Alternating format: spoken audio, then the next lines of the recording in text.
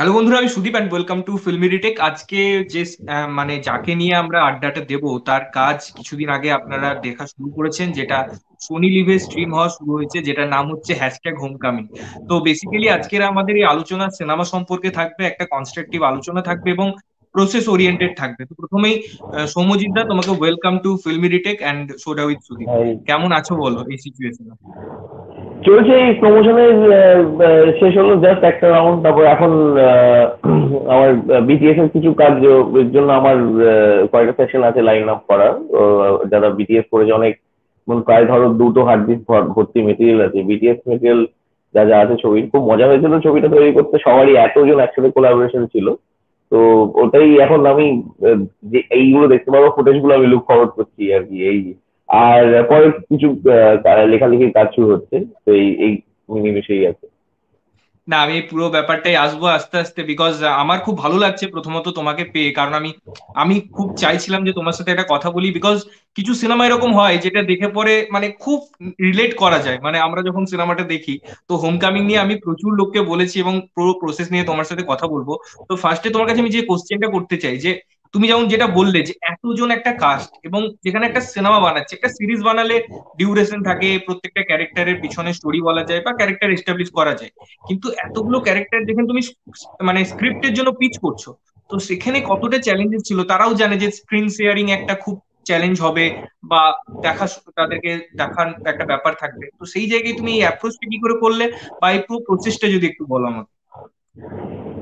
আমাদের কাছে প্রসেসটা খুব সিম্পলই ছিল। কারণ আমার যেরকম আমি যখন স্ক্রিপ্টটা লিখলাম, আমার আমি কোনো ব্যাগেজ ছাড়াই লিখেছি আর কি। চরিত্রের কথা ভেবে লিখেছি। কোনো অভিনেতার কথা ভেবে লিখিনি সেরকম ভাবে স্ক্রিপ্টটা তো তারপর যখন কাস্টিং প্রসেসটা শুরু হলো, খুব ইন্টারেস্টিং হাইব্রিড প্রসেস ছিল কাস্টিং এর মানে কলকাতার কয়েকজন অ্যাক্টরের কাজ আমি অবহিত ছিলাম, কয়েকজন অ্যাক্টরের সাথে আমি কাজ করেছিলাম। তো কলকাতার কাস্টিংটা ওয়াজ ইজিয়ার কলকাতায় এছাড়া আমার নিজের কাস্টিং কোম্পানি আছে, কলকাতায় কয়েকজন ক্যারেক্টারের জন্য অডিশনও করা হলো। তো সেইভাবে কলকাতা কাস্টিংটা যেটা is the soul of the film মানে এত বিচিত্র স্বাদ, আর কলকাতা শহরটাকে এই কাস্টিং এর থ্রু দেখতে পাওয়া যায় এই ফিল্মে কলকাতা শহরটাকে অপেক্ষাকৃত পুরোপুরি দেখা যায় এবং ছবিটার মধ্যে। কিন্তু কলকাতা বা যে কোনো শহরই মানেই তো তার মানুষজন আর কি। তো সেই সেই শহরের এখন কন্টেম্পোরারি মানুষজন, এখনকার সময়ের মানুষজন এখনকার ইউথ কি বলছে কি চাইছে, সেই ফেসেস আমি খুঁজছিলাম কলকাতার থেকে। তো কয়েকজন আমার কন্টেম্পোরারির সাথে কাজ করলাম, কয়েকজন নেক্সট জেনারেশন লোকের সাথে কাজ করলাম। সবাই মানে আমি আমি আমার মানে খুব রেসপেক্ট না করলে আর না, ও মানে ভেতর থেকে না আসলে কোলাবোরেশনের ইচ্ছেটা আমার কারোর সাথে কাজ ওভাবে করতে ইচ্ছে করে না আর কি। তো আমার খুব ভালো লাগল এদের সবার সাথে কাজ করে। সবাইকে আমি প্রচণ্ড আমি বলতেই পারো, সবার ফ্যান আমি। মানে আমি এত, আমি নিজেই অভিনেতা, আমি নিজে অভিনয় করেছি, কিন্তু এদের এই রাত্রের পর রাত ডেডিকেশন এগারো রাত্রিতে আমাদের টানা শুট হয়েছিল, তারপর সেকেন্ড শিডিউলটা এক বছর ওয়েট করে আমরা প্যান্ডেমিকের পর ফ্ল্যাশব্যাকটা শুট করেছিলাম ছবি, উল্টো প্রসেস হয়েছিল। যদি প্যান্ডেমিকে জাস্ট ফেব্রুয়ারি টু থাউজেন্ড টোয়েন্টিতে আটকে গেছিলাম ছবিটা শেষ মানে ফার্স্ট শিডিউলটা শেষ করে রাতের গল্পটা, সকালের গল্পটা শেষ করে, কারণ মার্চেই যেমন যেমন দু হাজার কুড়িতে প্যান্ডেমিক চলে আসলো। তো এই, এই- কাস্টের জন্যই সম্ভব হয়েছে এত কিছু মানে অনেক কোলাবোরেশন রাখি কিন্তু এই কাস্টের বিষয়টা খুবই স্পেশাল কারণ এরকম সচরাচর ছবিতে দেখা যায় না। অনসম্বল এরকম তিরিশ জনের কাস্ট একটা দেড় ঘণ্টার ছবিতে। সবাই প্রায় প্রতিষ্ঠিত অভিনেতা যে নিজের জায়গায় আর বম্বে কাস্টিং করতে গিয়ে যখন আমি গেলাম তখন আমার খুব ইন্টারেস্টিং ছিল কারণ খিচুড়ে দেখে গেছিলাম দুদিন।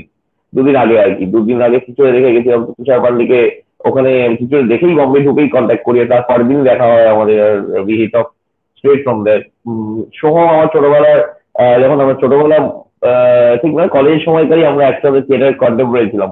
মানে আমাদের আমি নাটকের সূত্রেই ওকে চিনি ইউথ থিয়েটারের সূত্রেই সোহমকে চিনি তখনকার বন্ধু আমরা তারপর শাহিনীর সাথে যার কাজ করাটা খুব ইন্টারেস্টিং শাহিনী নাম্বারে প্রথমে আমি একটা নাম্বার জোগাড় করে যেরকম আমার কাস্টিং নেটওয়ার্কের থ্রু দিয়ে কাস্টিং যেহেতু করছি ছ বছর ধরে এখানে পারি বা কাহানি টু মুকেশ সাবনাকে কাস্টিং দেখে আনমোল আহুজা অভিষেক ব্যানার্জির সাথে কাজ করেছি। তো ওই নেটওয়ার্কটা থেকেই আমার অভিনেতাদের সাথে ডাইরেক্ট কন্ট্যাক্ট আর কোলাবোরেশনের জন্য মেসেজ করা। আমি ভাবতে পারিনি যে আমার একটা ধরো প্রেজেন্টেশন যেটা সিনপসিস আছে বা সবকিছু ডিটেল আছে, আমার ভিশনটা অ্যাবাউট দ্য ফিল্ম সেটা পেয়ে লোকজন আমাকে রিপ্লাই করবে বা যোগাযোগ করবে কোনো এক্সপেকটেশন ছাড়াই কাস্টিং এর জন্য আমরা চেষ্টা করেছিলাম। বম্বে থেকে আর কলকাতা থেকে যাতে ক্রস কালচারাল কোলাবোরেশনটা হয়, কারণ ছবিটা একটা কসমোপলিটন ছবি, যেরকম দেখতে পারি প্রত্যেকটা সিনেই প্রায় দুটো ভাষা ব্যবহৃত হয়েছে। তো ইংরেজি, বাংলা, হিন্দি দিয়ে যখন কাস্টিংটাও তাহলে আমার অন্য দুটো ইন্ডাস্ট্রি থেকে করলে, আর also I was looking for face honestly for fresh faces in the scenery মানে একই লোকজনের সাথে ইন্ডাস্ট্রিও কাজ করে যাচ্ছে দীর্ঘদিন ধরে। একটা ছোট্ট একটা ক্লোজ গ্যামার তৈরি হয়ে গেছে। আর কিছু এগোচ্ছিলই না। তো আমি সেই জন্যই আমি অভিনয় থেকে ব্রেকটা নিয়ে আমি কাস্টিং এর প্রসেসটা যেরকম আমি বলছি, তো সেইভাবেই আর কি কলকাতার প্রসেস যেরকম বলুন তো ববের এই ব্যাপার যে শাইনির একটা সিঙ্গেল টিক হয়ে গেছিল ওই মেসেজটা যেখানে আর কি প্রসঙ্গে ফিরলাম। শাইনির মেসেজটা তো আমি অন্য আবার আবার দু মাস পরে যখন এক মাস পরে কাস্টিং লক হয়ে গেছে, সব হয়ে গেছে, তারপর ওই চরিত্রটাই, খালি স্ত্রী চরিত্রটাই কেউ লক হয়নি। মানে আমি কাউকে অ্যাপ্রোচই করিনি, বাকিগুলো করতে করতে করতে ভুলেও গেছি। যে আমি ভেবেছি শাহিন বোধহয় শুটিং আছে, তো সিঙ্গেল টিক হয়ে আছে, বাইরে কোথাও আছে। তারপর জানলাম যে ওটা ওর নম্বরই নয়। ঘটনাচক্রে অন্যান্য লোকজনের সাথে আলাপ হয়ে তারাই বলল। তো ওর নাম্বারটা যখন তারপর আমি জোগাড় করে ওকে টেক্সট করলাম, ও খুবই কলকাতায় আসছিল ইন্ডিয়া টুডে কনক্লেভে দেখা হলো আমাদের। প্রথমেই একটা ভাপা ইলিশ আর আর ভাত আমরা খেতে খেতে আর কি সেদিন একটা পুরো আড্ডা হলো। আমাদের রাজনীতি মেলে আমাদের অনেক কথাবার্তা সেই অনেক কিছু নিয়ে কথাবার্তা থেকে আমি বুঝতে পারলাম যে এটাই স্ত্রী আর কি স্ত্রীর কাছ থেকে সবচেয়ে টাফেস্ট ছিল। আর আমি শারীরিকই চেয়েছিলাম শারীরিক সাথেই কথা হলো, তারপর দেখা হলো, তারপর করলাম। ওর বন্ধু আছে, আমার যে অনেক বারো বছরের বন্ধু, আমি আগে থেকে ইনসাইট আমি চিনি হুসাইন জালালকে হুসাইন আমাদের আমি যখন ক্রিসপি থিয়েটারে টাইসপো বলে একটা ফেস্টিভ্যাল হয় ইউথ থিয়েটারে সেখানে গেছিলাম আমি এখানে টিন ক্যান মানে ম্যাডলি বাঙালিতে অনেকজন যারা লিড কাস্ট তাদের একটা থিয়েটার গ্রুপ ছিল টিন ক্যান বলে। সেখানে আমি ক্লাস টুয়েলভে প্রথম আমার প্রফেশনাল থিয়েটারও করেছিলাম অ্যাজ এ পারফর্মার তো ওদের সাথে যখন দু হাজার আটে আমি যাই, তখন হুসেন দালালের বাড়িতে এসে গেছিলাম। বারো বছর পর হুসেনের বাড়ি আমি আবার যাই একটা স্ক্রিপ্ট হাতে নিয়ে এগুলোকে চরিত্রের জন্য। প্লাবিতার সাথে একটা ক্যাফেতে দেখা হলো বম্বেতে তো মানে ক্যাফেতে দেখা হলো মানে আমি লিপস্টিকার নয় মুখা দেখার পর ওকে চেয়েছিলাম ওর সাথে কাজ করি। কখনো কখনো কাজ যাতে হয়েই যায়, কাজ নিয়ে সূত্রে বা নিজে কখনো কখনো তো ছবি বানাবো প্ল্যান ছিল। তো ক্যাফেটায় আসলো খুব ইন্টারেস্টিং ব্যাপার। আমি যোগাযোগ করলাম, এসে যে মিটিং আমাদের করার প্ল্যান হলো মিটিং ক্যাফেতে সেখানে বসলাম we collected over script totally আমার এটা মানে বলতে খুব ভালোই লাগছে যে এত সেম মানে লাইক মাইন্ডেড ঠিক বলব না লাইক হার্টেড লাইক হার্টেড লোকজন মানে সহযোগিতার লোকজন যে এত একত্রিত হয়ে একজন একসাথে একটা মানে সিঙ্ক অফ যায়নি আমার আমার কাছে নিজের মতো করে কাজ করতে একটা, দেখো, একটা আড়াই বছর পর সেটে ফিরছি, আমি চার দিন আগে প্রডিউসার হয়ে গেছিলাম। এইসব ঝামেলা অতিক্রম করেই চার দিন আগে নিজেকে প্রডিউসার হয়েছে এইসব ঝামেলা অতিক্রম করে আবার আড়াই বছর পর সেটে ফিরে আমি আমার ক্যামেরার পেছনে। ক্যামেরার সামনে পঁচিশটা ছবিতে অভিনয় করে থাকতেই পারি। পেছনে এবার প্রথমবার আবার বলছি অ্যাকশন তো আমার ফিল্ম স্কুলের ব্যাকগ্রাউন্ড থাকলেও রেভিয়াজের পড়ে থাকলেও সে এই ইস্টটা আমার না থাকলে মানে এই কাজের থেকে এই ইস্টটা না পেলে আমার এই আমারই হোম কামিংটা সম্ভব হতো না। একদম। তো তুমি যেটা বললে যে এই যে পরে শুট করেছ যে পিছনের স্টোরিটা যে ব্যাক প্রসেসে গেছো তো এটা খুব চ্যালেঞ্জিং মানে তুমি যখন একটা প্রেজেন্ট সিচুয়েশন দেখাচ্ছ তাদের যে চেহারা তাদের যে ম্যাচুরিটি লেভেল তুমি পিছনে দেখাতে গিয়ে তাদের মানে অনেক পুরনো জিনিসটা দেখাচ্ছ। তো মেকআপ আমার মনে হয় খুব ইম্পর্টেন্ট ছিল এই জায়গায় রোল প্লে করেছে। Not only makeup each and every department আমার মনে হ্যাঁ। তো আমি হ্যাঁ, তোকে ছিল কস্টিউম বাট এরা সবাই মানে কেউ ওয়েট লুজ করেছে কেউ ওয়েট গেইন করেছে ও ইচ্ছে করেই ফর ক্যারেক্টার যে এটা আনহার্ড অফ আর কি পাওয়া যায়। তো সৌম্যজিৎ আমি তোমাকে এবারে কিছু জিনিস জিজ্ঞেস করব যেটা আমি সিনেমা থেকে বা রিভিউর সময় বলিনি। কিছু কিছু জিনিস আমার মনে হয়েছে যে পরে তোমাকে জিজ্ঞেস করব যখন আমি তোমার সাথে কথা বলব। একটা পার্টিকুলার সিন আছে এই সিনেমার একদম প্রথমের দিকে যেখানে একটা দুর্গাপুজোর অ্যাম্বিয়েন্স বা প্যান্ডেলে তারা যায়। তো সেখানে এক জায়গায় আমরা বিজিএম এ সানাইয়ের আওয়াজ শুনতে পাই ঠিক আছে? তো এইটা মানে বেসিক্যালি সানাই তো বিয়েকে রিপ্রেজেন্ট করে। তো দুর্গাপুজোতে সানাইটা মানে কোনো এর কোনো সিগনিফিকেন্স ছিল না এটা জাস্ট ওই থিমটার সাথে করার জন্য মানে এটা আমার জানার ইচ্ছে ছিল। বিকজ তোমার হ্যাঁ, যে প্রত্যেকটা সিন আছে সেগুলো খুব পিছনে অনেক রিজন আমি খুঁজে পেয়েছি লেয়ারিং খুঁজে পেয়েছি তাই আমার মনে হয় এটা তোমার কাছ থেকে জানার ইচ্ছে ছিল আমার। বাহ অনেক অবভিয়াস লেয়ারিং আছে এটা এটা আমার কেউ জিজ্ঞাসা করে ভাবতেই পারছি না আমি এটা এটা একদমই ঠিকই। সাউন্ড ডিজাইনে প্রচণ্ড থট প্রসেস লাগানো হয়েছে ছবিটার মধ্যে, যেটা নোটিস সাউন্ড তো সাবকনসিয়াস একটা কনসিডারেশন এটা সবাই নোটিস করে না, কিন্তু আমাদের মানে national award winning sound designer Arindip Roy যে মিক্স করেছে, আর ও আর আদিত সিং মাঙ্কি ওরা ডিজাইন করেছে একসাথে they run I think best of post production audio studio called Oral Work Station তো অনেকেই কাজই কলকাতায় করে, কিন্তু আমাদের ছবিটা যেহেতু একরকম ধাঁচের নয় একটু অন্যরকম জোনে ছিল, তো আমি খুবই কমফোর্টেবল ফিল করি ওরা বন্ধু বান্ধব ছিল বলি ওদের সাথে এই সব মানে এই লেয়ারগুলো গিয়ে কথা বলে সাউন্ড ডিজাইন কোলাবরেট করতে। তো, সানাইয়ের আওয়াজটা কি হয়, কলকাতায় পুজোতে, বিভিন্ন পুজোতে যেরকম, বিভিন্ন রকমের মিউজিক বাজে। তো সেখানেই সানাইয়ের আওয়াজটা রাখা ওই জন্যই যে দুর্গাপুজোতে এই যে খালি ঢাকের সাউন্ডই হয় কিন্তু সেটা ফ্যাক্টর নয় এখানে আমাদের এখানে এরকম তুমি সানাই সাউন্ডের পেছনে আবার সাইকেল রিক্সা মানে হর্নের আওয়াজও পাবে সেই সিনটাতে তো আমরা ভাবেই সেট আপ করছিলাম যে নাকতলা এরকম একটা কোনো ইউথ পুজো যেরকম দেখে পুরু তো খুব ইয়াং ছিল পুরুত্বে হ্যাঁ, তো হ্যাঁ। একটা যেন ইয়াং কোনো একটা সেট হয়েছে আর সেখানে একটা কালচারাল এলিমেন্ট হিসেবেই হাইলাইট করা সানাইয়ের আওয়াজটা কারণ এটাই রিয়ালিটি মানে এই আমাদের আশপাশ থেকে অবজার্ভ করে ইনকর্পোরেট করা। অবশ্যই অ্যাবস্ট্রাক্ট ট্রিটমেন্ট সবসময় ভালো মানে একটা কেন আমরা কনসেপ্টে থাকব যে সানাই মানে শুধু বিয়ে? তো এটা এটা আমার ভালো লেগেছে যে হ্যাঁ যদি এটা নোয়িংলি করা হয়েছে বা আননোয়িংলি করা হয়েছে একটা আলাদা সত্যি কলকাতায় হয় এটা। মানে তোমার সাউন্ডে সাউন্ড বাজে এখানে পুজোতে। হ্যাঁ তো আমি আরেকটা কোশ্চেন তোমাকে করতে চাই, যেটা আমার খুব মানে ইচ্ছে ছিল, যে তুমি এই যে এমন এমন চরিত্র অ্যাড করেছ, এই নামগুলো বলছি পার্টিকুলার যে যখন সিনেমায় আসছে প্রত্যেকটা ক্যারেক্টারের একটা হ্যাশট্যাগ দিয়ে তার একটা মানে সাব টাইটেল অ্যাড করছ নামটার সাথে। তারপরে সেখানে নামের যদি কথা বলি, সৃজিতের নাম আছে, পাভেলের নাম আছে, এবং সব থেকে বড় কথা একটা বলা আছে, কি বলে আমাদের নাম ছিল ওটার, হিম হিম, হিমলক হিমলক। হিমলকের গান, যে ফাইট সিকোয়েন্সটা তো এগুলো কি কোথাও তোমার মনে হয়েছিল যে এগুলো নিয়ে পরে বিতর্ক হতে পারে বা তুমি কোথাও ডাইরেক্টলি মেনশন করছ না অবভিয়াসলি বাট এটা কি কোথাও মানে মাইন্ডে ছিল তোমার? হিমলোকের গান ছিল না কোথাও। নিজেকে ঋত্বিক ঘটক মনে করেছিল চৈত্র ডায়ালগ যেরকম বলেছিল। সাবটাইটেলটা দেখো হ্যাঁ না, এটা বিতর্ক ঠিক নয়, এটা মানে এমনি মানে ইন্ডাস্ট্রি থেকে এই যে নাম নামগুলো হবে সেটা ভেবে করা নয়। এই নামগুলোই তো প্রচলিত। একটা তিরিশ জন চরিত্র দেখো। হ্যাঁ, হ্যাঁ তিরিশ জন চরিত্র আর হ্যাঁ আশপাশ থেকে যে নামগুলো কমন সেটা হয়তো আরও জায়গা করে নেয় চরিত্র চরিত্রের নাম হিসেবে। কিন্তু হ্যাঁ এটা কারোর সাথে যেরকম যেরকমই জানো যে কারোর সাথে কোনো যোগাযোগই নেই। এটা হ্যাঁ মানে একরকম মজা যদি বলতে পারে সেটাও হতে পারে। কিন্তু মানে তার সাথে কোনো যোগাযোগ নেই আর কি। চরিত্রে। থ্যাংক ইউ মানে এত ফ্রি মানে অ্যান্সারটাও করার জন্য বিকজ এটা এটা আমি ভেবেছিলাম। এই সিনেমায় একটা ডায়লগস আছে মানে প্রত্যেকটা ডায়লগসই খুব ভালো বাট আমার দুটো জায়গার একটা কথা আমি তোমাকে বলতে চাই। যেখানে একটা ডায়লগস আছে দেখা হলে প্রেম টেম হবে ভালোবাসা ঠালোবাসাটা থাক ঠিক আছে?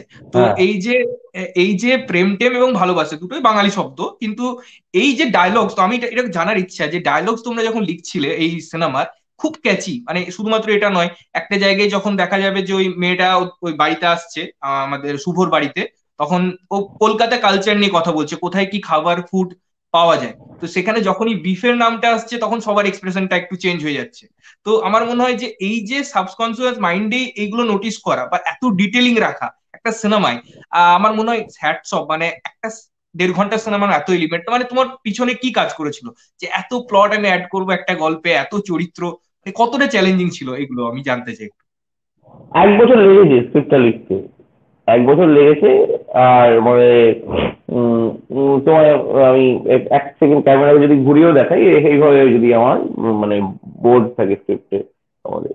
আচ্ছা তো এইভাবে অনেক প্লট করা যায় অনেক মজা করা যায়। চোখের সামনে বোর্ডে যদি কাটাকুটি খেলা হয় খুবই সিম্পল বিষয়টা এত একদমই কমপ্লিকেটেড নয়। কিন্তু হ্যাঁ কমপ্লিকেটেড কোনটা? যে আমার ক্যারেক্টার আর্টগুলো যাতে জাস্টিফাই হয় বা আমি নিজে যেরকম যেরকম এখানে চরিত্রে অভিনয় করেছি, আমি এটা জানি যে সবাই চরিত্রেই অভিনয় করে। মানে চরিত্রটাই যদি চরিত্রের ভিতমাটি যদি স্ট্রং হয়, তাহলে পাঠ করার জায়গা থাকে। এই পাঠ করার জায়গা তৈরি করার থেকেই আমার কিন্তু রাইটিংটা ব্যাকওয়ার্ড একটু জায়গা দিই একটু তৈরি করে দিই একটু অন্তম্বল কাস্টের কোয়ালিটি ঢোকাই। এইগুলো নিজেকে চ্যালেঞ্জ করে করেই তুমি বলতে একার সাথে একার মনোলাগ এক বছর এরকমও হয়েছে। কারণ নিজেও আমি যেহেতু অভিনেতা, আমি সবার চরিত্র ডায়লগ বলে বলে আর কি পাঠ করতাম যখন। তো সেখানে যা খরচা লাগতো, সেখান থেকে ডায়লগগুলো পলিশ হয়েছে। আমি তো স্ক্রিপ্ট লেখা এর আগে কোথাও শিখিনি স্ক্রিপ্ট রাইটিং ও কলেজে ভাবে শেখানো হয়নি। যদিও মানে আমাদের ফিল্ম স্কুল ছিল, কিন্তু অন্যান্য জিনিসে মানে ডিরেকশন বা, আর তোমার মাস কমিউনিকেশন বা ফিল্ম স্টাডিজ ওই দিকে আমাদের সাউন্ড ক্যামেরা টেকনিক্যাল যে আরও বেশি আমাদের শেখানো হতো। তো স্ক্রিন রাইটিং যেটা আমার নিজেরও ইচ্ছে যে এখন স্ক্রিন রাইটিং এর ব্যাপারে এত ভালো লাগে পড়তেও বা এদিক, ওদিক যখন অন্যান্য ছবি দেখে স্ক্রিন রাইটিং এর প্রসেসটাকে ডিকোড করার চেষ্টা করতে পারছি এখন, সেই জিনিস সেই, এই মজাটা আমি শেয়ার করতে চাই। কখনো কোনো ওয়ার্কশপ নিলে ডেফিনেটলি আমি খুবই ইন্টারেস্টেড টু শেয়ার বাট হ্যাঁ having said that it was difficult it was difficult to stitch all of it together একসাথে যে এত চরিত্র আমি স্পিচ করব। আর এইটা আমি একদমই মানতে পারব না যে এটা একটা মানে কোনো চরিত্র ধরো রেজিস্টার হয়নি বা এরকম হয়নি। এটা এটা এটা কেউ বলেও নি যদিও আর কি যদি কখনো কেউ বলে কোনো চরিত্র রেজিস্টার হয়নি আমি এটা শুনব এটা কারণ অনেক ডিফিকাল্টি আছে, অনেক ডিটেলিং আছে, যেটা একটা চরিত্র কীরকম সেটা বোঝা যায় হোম কামিং এ আর সেটা এক বছর একটা লেখার চ্যালেঞ্জ ছিল। সেটা ছবিতে আমি শিওর দেখা গেছে। না একদমই। মানে তুমি যেটা বলছিলে এটা এটা আমি আমারও খুব একটা যখন সিনেমাটা দেখছিলাম মনে হচ্ছিল যে এই ক্যারেক্টার এস্টাবলিশমেন্টের কথা বলি। এস্টাবলিশমেন্ট মানে তো সে বাচ্চা বাচ্চা বেলায় কি চকলেট খেতো এটা এস্টাবলিশমেন্ট নয়। আমি পাস্টের সাথে প্রেজেন্টের কীভাবে মেশাচ্ছি? তুমি একটা জায়গায় দেখাচ্ছ শুভর সাথে তার গার্লফ্রেন্ডের ওরাই বলছে যে তাদের জিনিসটা ছিল আবার তুমি দেখাচ্ছ যখন স্টেজে তার ফার্স্ট টাইম দেখা হচ্ছে ওই অন্য মেয়েটাকে হাত করছে, ওকে না টপকে গিয়ে। তো আমার মনে হয় এটা রিপ্রেজেন্ট করে দেয় যে তাদের কারেন্ট সিচুয়েশন এবং পাস্ট সিচুয়েশন খুব সুন্দর হবে। তো আমি সিনেমায় তোমার আরেকটা জিনিস নোটিস করেছিলাম, যেটা আমার পরের কোশ্চেন তোমার কাছে, যে যে কোনো জমি যখন একটা সিনেমা আমরা দেখি, তখন মনে হয় যে কিছু সিনেমা থাকে যে কিছু অডিয়েন্সকে ক্যাটার করার জন্য। পার্টিকুলার এটা হয়তো ইউথ কে ক্যাটার করার জন্য। তো আমি যখন সিনেমাটা দেখছিলাম, অনেকেই বলেছে এটা তো ইউথদের ফিল্ম আবার যখন এটা বলেছি যে আমার বাবাকে দেখার জন্য সাজেস্ট করেছি তখন বলেছে শুধুমাত্র ইউথদের ফিল্ম নয় যারা যাদবপুরে পড়েছে সেটা বাবাদের সময় হোক তারাও কিন্তু একটা নস্টেলজিয়ায় ফিরে যাবে। এবং এটা কিন্তু সিনেমার মাধ্যমে তাদেরও একটা রিউনিয়ন অনেক অনেক হয়েছে আমার জানাশোনা যারা হয়তো সিনেমাটা দেখে তাদের অনেক পুরনো বন্ধুকে একটা মেসেজ করেছে যে কেমন আছিস? তো আমার তুমি এই জিনিসটা কি একটা মানে জেনারেশন গ্যাপটাকেও মানে বন্ধ করল এই সিনেমাটা যে না একটা সিনেমা দিয়ে অনেককে ক্যাটার করা যায়। তোমার কি মত এটা? আমি তো কখনো কোনো সেকশন অফ দ্য সোসাইটি ভেবে ছবি মানে বানাইনি বা বানানো, বানাবো না বাট এইটা খুব ভালো লাগছে যে হ্যাঁ এটা বড় কথা বলেছ, আর এটা একদম ট্রু এটা খুবই কম এটাও আলোচনা হচ্ছে যে জেনারেশন গ্যাপটা যেরকম ছবিটা ভেঙে দিয়েছে। আমি আমি ভেবেছিলাম হবে, আমি অনেস্টলি ভেবেছিলাম eighteen to thirty five R forty will be the target group for the film as audience এর বাইরে লোকে বলবে কি বানিয়েছে বা কি হয়েছে, এরকম এত গালাগালি আছে বা এরকম এই গরু খায় বলছে আর যা হয় আর কি, এরকম মানে এখানে তো একটা মানে একটা আমাদের একটা জেনারেশন গ্যাপেও বাঙালির মধ্যেও দেখবে সাম্প্রদায়িকতার যোগটাও যেরকম ঢোকানো হয়েছে, সেটাও একটা নোয়ান একটা ব্যাপার। মানে আমাদের অনেক পলিটিক্যাল কমেন্ট হয়, অনেক রিলেশনশিপ নিয়ে কমেন্ট হয়, সবকিছুই এখানে অন্তর্নিহিত আছে, কিন্তু ডাইরেক্টলি কোনো কিছু আমরা বলছি না। তো সেই জিনিসটাই যে মানে এইভাবে আলোড়ন ফেলেছে সবার মধ্যে যে আমি আমি খুবই মানে এসে নেই উচ্ছ্বসিত। একজন আমার প্রিয়া আমাদের প্রিমিয়ার হয়েছিল সন্ধ্যা বলে এই যে ভোরের আজার মিলে যাচ্ছে ঢাকের শব্দের সাথে সকালে দশমীর ঘাটের পরে। এই যে এইগুলো যেটা তো সাউন্ড এলিমেন্ট যেরকম বলছিলাম সাবকনসিয়াস যেটা আমি অনবিদের সাথে আলোচনা করছিলাম যখন আমরা ডিজাইন এর মিক্সটা করা হচ্ছিল আর কি সেশনটা ছিলাম। তো এটাও বলছিলাম। তো এইগুলো যে ধরা পড়ছে আমি আমি খুবই সারপ্রাইজ আর অনার্ড আমি ফ্র্যাঙ্কলি কারণ আমি ফ্যামিলি ফিল্ম হয়ে উঠবে এটা আমি ভাবিনি। মানে যে মানে ফ্যামিলি হিসেবেও সবার ভালো লাগছে। আমার সেদিন আমার স্কুলেরই আমি সাউথ পয়েন্টে যেহেতু পড়তাম অনেক স্টুডেন্ট জানো সাউথ পয়েন্টে অ্যালুমনাই থাকে। তো আমার একটা ওখানেই গ্রুপে একজন নামে লিখেছিলেন যে মানে তিনি তার ওয়াইফ আর ছেলে নিয়ে দেখলেন মানে ছবিটা একসাথে দেখলেন। আমার বাবার থেকে ধরো দু ব্যাচ বাবাও সাউথ পয়েন্ট বাবার থেকে দু বছর জুনিয়র হবে হয়তো। তো এই যে, এই ফিলিংটা আমি খুবই এনজয় করছি। মানে আমার আমার এটা এক্সপেক্টিং ছিল না। একজন মানে যেরকম এই অন সিনিয়র সিটিজেন বলছেন যে, এই যে আমাদের ছেলেমেয়েরা পার্টিতে যায় বা রাত্রিরা, রাত্রির ছেলেরা, কি করে সেটা বুঝতে পারলাম।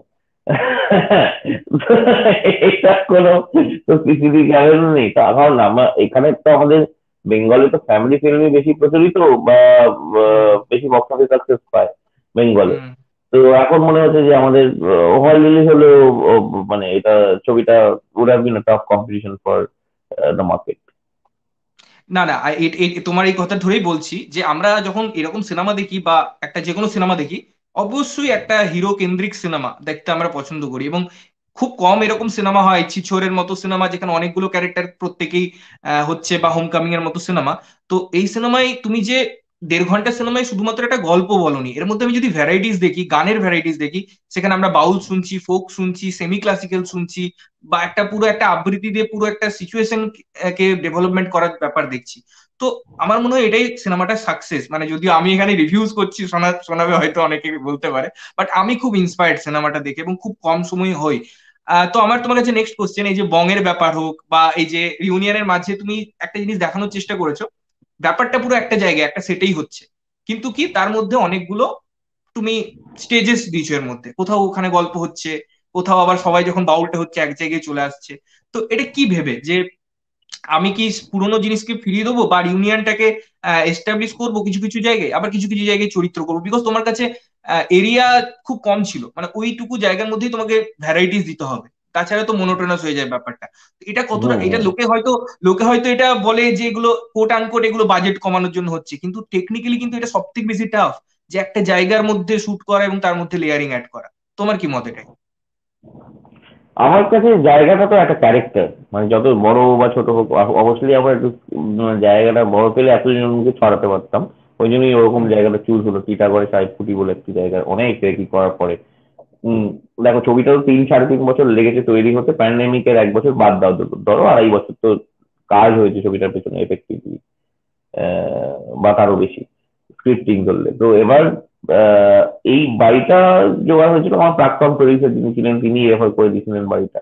হ্যাঁ তো আমার ছবি যেহেতু বাজেট বেড়ে যাচ্ছিল, তারপর তার সাথে এগোনো যায়নি কাজ নিয়ে, কিন্তু এখন আমার সাথে কথা হয়। তো মানে ছবিটার ব্যাপারে সবাই একটা কি অদ্ভুত ব্যাপার বলব, একটা প্যাশন হিসেবেই ইনভলভ আর কি মানে এটা আমি খুবই লাকি এটার জন্য। তো ওই তো এই বাড়িটা একটা ক্যারেক্টার আমার তখনই লেগেছিল, যেরকম একটা ডেড সুইমিং পুল ধরো, ওই বাউল যে গানে জায়গাটা তৈরি হতো। এবার এই ডেড সুইমিং পুলটা তোমায় কিন্তু মনেও করিয়ে দিতে পারে। রাঙ্গা বাসন্তীতেও এরকম একটা জায়গা ছিল। ওই জায়গাটা আমি যেহেতু ফিজিক্যালি গিয়ে দেখে এসেছি ইন্ডিয়ান হ্যাবিটাস সেন্টারে অ্যাম্পি থিয়েটার আমি জানি যে মানে ওখানে নাটক করেছি, তো আমি তো জানি যে মানে একটা জায়গা it's all about space design তুমি তোমাকে অ্যাম্বিয়েন্সটা তৈরি করতে হবে। তুমি যেই নস্টালজিয়া বলছো বা যেই জন্য ওয়ার্ম টোন অফ লাইটিং এগুলো আমার ডিওপির সাথে অনুপ সিং এর সাথে যে ডিওপি আমাদের এই রাত্রিরা সকালে শুটটা করেছে প্রেজেন্টের তারপর ফার্স্টে শুট করেছে আমার ব্যাচমেট আমার বন্ধু যে আমার ফার্স্ট সেমেস্টার প্রজেক্ট সেই শুট করেছিল রুষা বোস ও ফ্ল্যাশব্যাকটা শুট করেছে। তো আমাদের মানে প্রচণ্ড কঠিন কঠিন ডিসকাশন হতো। মানে মানে সেটা ডিবেট বলব আর কি রাদার ডিসকাশনের থেকে। সেখানে কারণ এখানে সবার তুমি কি বলতো? মানে এত ওপিনিয়নের কোলাবোরেটর সবাই, যে যেটাই মজা ছিল। যে ওপিনিয়ন না থাকলে কোলাবোরেশনে মজা হয় না। যে ঠিক আছে হ্যাঁ তাহলে এটা চাইছো আচ্ছা এটা করছি। এই এরকম লোকজনের সাথে কাজ করতেও চাইনি, আর এটা ইচ্ছাকৃত ছিল। যে যত তথাকথিত ছবিটা মিসফিটদের ব্যাপারে হয়েছে মিসফিটদের নিয়েই হয়েছে। তো তো পুরো টিমটা ইনক্লুডিং আমি নিজেদেরকে আমার মিসফিটই আমি বলব এই গতানুগতিক কাজ এখানে যেভাবে হয় সেটার পরিপ্রেক্ষিতে। তো সেই ক্ষেত্রেই জায়গাটা যে এরকম ভাবে পেয়ে গেলাম, তারপর এত বিভিন্ন জোনে থাকলেও এটা স্ক্রিপ্টের সাথে মিলে গেছিল। আর আলটিমেটলি স্ক্রিপ্ট আর এডিটটা কিন্তু খুব কাছাকাছি। যদিও দেখবি স্ক্রিপ্ট এডিটে এতগুলো সিন আছে, এতগুলো ভাগ আছে, এতগুলো সেটা স্ক্রিপ্টে ওই ছন্দটা ছিল। তো আমার, আমাদের যে স্ক্রিপ্টটা সেটা আমি যখন লিখেছিলাম তখন ভেঙে ভেঙেই ভেঙে ভেঙেই সিনগুলো তৈরি করা ছিল মানে সিকোয়েন্স বানানো ছিল পরপর। তো সেই মজাটাই এডিটে পরিপূর্ণ হয়েছে আর কি। তো সেই আরও ফাইন টিউন হয়েছে অবশ্যই। তো, আর বোধাদার সাথে কাজ করার তো মজা মনে ওই বোধায়িত্ব বন্দ্যোপাধ্যায় ইজ লেজেন্ড সব সম্পাদক হিসেবে অনেকেই জানেন না যে আকাশে গায়ে কান্নাপাতি গানটা ওনার লেখা মানে সেটা অনেকে জানেন, কিন্তু ওনার যে একটা মিউজিক লাইফও আছে, সেটা, সেটার সাথেই আমার মানে খুব প্রথমে যোগাযোগ আর খুবই মানে মনের কাছাকাছি মানুষ। আমাদের এই প্রসেস যেমন ব্যাকগ্রাউন্ড করে হলো নীল মুখার্জির সাথে বা মৌসুদ্দামের হাতিয়ার গানটাও ঢুকলো, এই প্রসেসের সময় ও মানে ডেফিনেটলি এই কোলাবোরেশনগুলো ইনক্রিজ করে গেছে ছবিটাকে। যার জন্য ওই যেই তুমি থিমেটিক নস্টালজিয়ার কথা বলছো এগুলো ফুটে উঠেছে। কারণ এটা টুল অফ দ্য ফিল্ম প্রত্যেকটা ছবির একটা থিম বা মুড থাকে। তো আমাদের ছবিতে definitely nostalgia was not the topic nostalgia was the mood একদম। তো থ্যাংক ইউ সৌমজিৎ দা এরপরে বেশি আমি যদি সিনেমা নিয়ে ডিসকাস করি আমি জানি পুরো সিনেমাটাই হয়তো বলে দেবো। এই পুরো ইন্টারভিউতে যেটা কখনোই চাই না লোকে দেখুক। লাস্ট টাইম তোমার কাছ থেকে একটাই জিনিস জানতে চাইব যে ফিডব্যাক কেমন রিভিউজ কেমন আমি সাথে তোমার পার্সোনালি কথা হয়েছে বাট আমি জানতে চাই। এবং তোমার আপকামিং কবে কাজ দেখতে পাবো এটা শুনতে চাই তোমার কাছ থেকে। লাস্ট রিভিউজ খুব ভালো আছে। মানে লোকজন পার্সোনালি কানেক্ট করছে। আমি তো ভাবতে পারিনি যে একটা পার্সোনালি একটা ছবি যখন পার্সোনাল দেবে। প্রথম ছবি তো এরকম বানালাম মানে এত ডিটেলে চার বছর ধরে কতগুলো যে ছবি করতে পারব, কত কাজ করতে পারব ইমোশনালি ফিজিক্যালি ভেরি ড্রেনিং তো এটা কত এই প্রসেসটা যে ক্রাফটের প্রতি কীরকম ভাবে কন্টিনিউ করে যেতে পারব, এটা আমার কাছে একটা চ্যালেঞ্জ তো সেইটার ক্ষেত্রেই আর কি যদি বলি, তো আমার মনে হচ্ছে যে উইল টেক ফরওয়ার্ড যেই অভিজ্ঞতা লোকজনের হয়েছে ছবিটা দেখে বা যেমন ফিডব্যাক পাচ্ছি অলরেডি আমরা most almost the highest viewed Bangla film trailer শনির এক কোটি স্ট্রিমিং নাও ট্রেলারে এক পঁয়ত্রিশ লাখ আমাদের অফিসিয়াল ট্রেলার মানে সোনির দুটো ট্রেলার ছাড়ে, একবার স্ট্রিমিং দিনে স্ট্রিমিং ছাড়ে। Which is by far মানে one of the highest viewed uh, trailers in, from West Bengal. তো এইগুলো এক্সপেকটেশন তো বাড়িয়েই দেয়। তোমার ভেবে চিনতেই কাজ করা উচিত আমার পরের কাজগুলো। কিন্তু আমি অন্যভাবে ভেবে চিনতে করার মানুষই নই। তো আমার আসলে একটু সময় লাগবে নিজে কি করতে চাই পরে সেটা মানে আমার এখন ভাবা নেই কিন্তু অনেকগুলো স্ক্রিপ্ট লেখা আছে। এটা তো ঠিক আমার একটা সাইকেডেলিক থ্রিলার লেখা আছে ছবিটার নাম রিমেক একটা এই ছবিটারই আমার প্রিকোলেও লেখা আছে সিকোলে লেখা আছে মানে ওয়ান লাইনার করে। করে তারপর আমার একটা যেরকম ইন্টারেস্টিং কাজ আমার একটা বন্ধু বানাবে শিকাগো থেকে আমার যেহেতু প্রোডাকশন কোম্পানি আছে প্রডিউস করি লাইভ প্রডিউস করি তো ওটাও হবে ওটা তোমার অগস্ট সেপ্টেম্বরেই হবে এটা হিন্দি সিনেমা বেসিক্যালি ওটা আচ্ছা। হচ্ছে। আমার কলকাতার মধ্যে মিলিয়ে কাজ করার ইচ্ছে আছে মানে এই দুটো শহরে আমার থাকতে ভালো ভালো লাগে।